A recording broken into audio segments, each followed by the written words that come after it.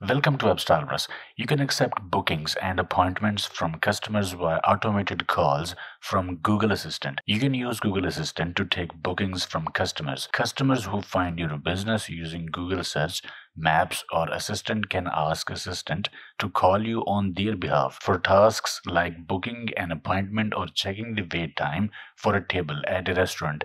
Assistant will confirm any necessary details with the customer and call your business to fulfill the customer's request.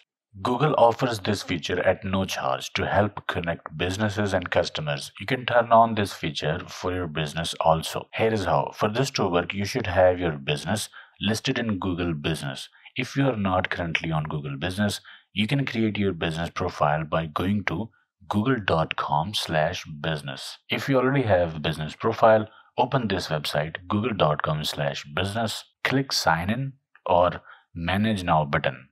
It will open a search result page listing your business. In front of your business on Google, click at these three dots. Then click at Business Profile Settings.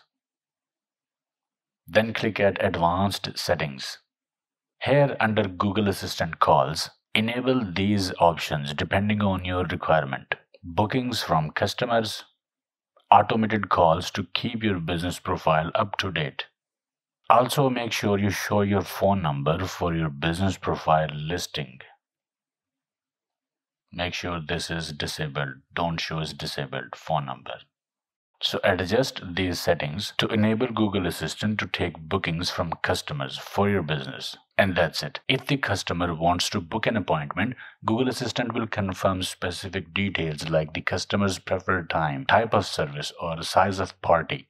Once this information is confirmed, Assistant will try to book an appointment with your business by using an online booking partner if available or by calling your business using the automated voice calling technology from Google Assistant. Keep in mind that all calls are monitored and recorded for quality assurance, of course.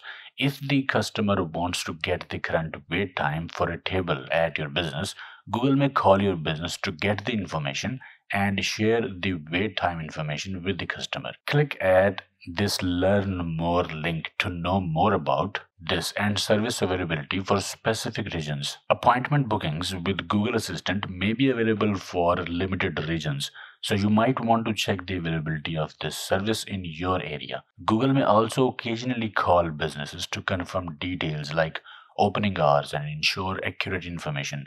These calls may be automated automated and monitored by a live person or made by a live operator.